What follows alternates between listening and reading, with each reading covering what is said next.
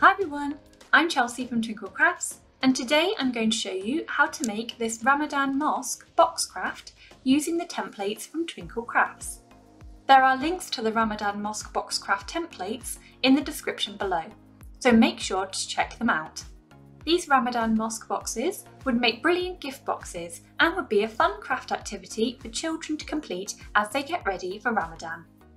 First, print off one of our Ramadan Mosque box craft templates we recommend printing them on card. I have printed this example on white card so I can add lots of lovely colour using my felt tip pens.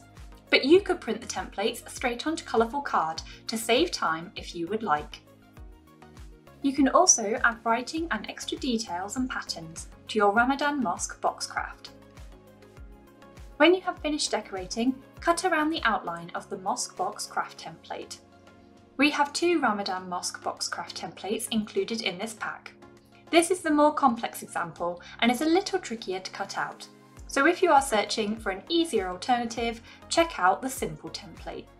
Now fold along the internal lines in the Ramadan Mosque box template. I like to use a ruler to make my first fold so I know it is exactly on the fold line. You can then reverse the fold using this first fold line as a guide. Remember to fold in the glue tabs. Now add glue to the glue tabs and construct your Ramadan Mosque box craft.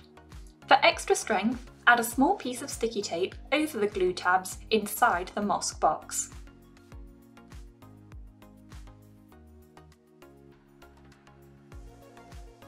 Finally, use a hole punch to create a hole at the top of the mosque template either side. Then thread some string or ribbon through the two holes and tighten to create a nice top to your box. These Ramadan gift boxes will not close entirely, but are a lovely decorative way to package a gift. We have two Ramadan Mosque box craft templates, so you can choose the perfect Ramadan craft for you.